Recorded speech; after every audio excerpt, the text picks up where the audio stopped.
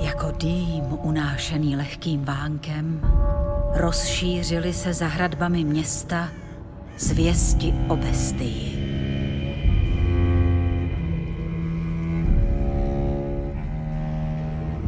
Ti nejodvážnější z celého království tuto výzvu přijali. Každý pod jiným praporcem, avšak sjednoceni touhou podstoupit náročnou zkoušku.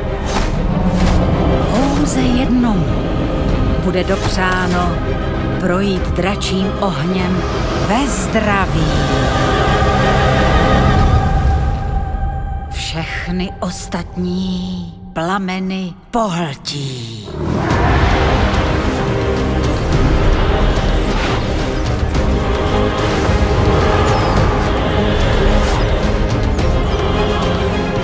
Kdo przeżyje.